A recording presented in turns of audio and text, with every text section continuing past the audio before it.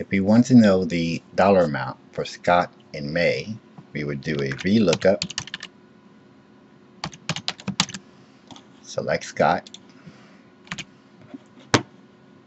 select the range, and the column index would be 1, 2, 3, 4, 5, 6, comma, false, because we want an exact match. So it'll give us 563.74, Scott and May. But we would have to change the formula each time we wanted a different month for Scott.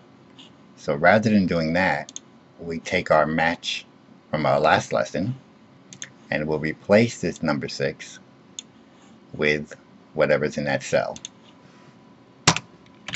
So now we have that answer. So now if we just go to our table here and change it to February, we'll see Scott in February is 284.64. And if we want to see somebody else like uh, Graves, Graves in February, 771.97.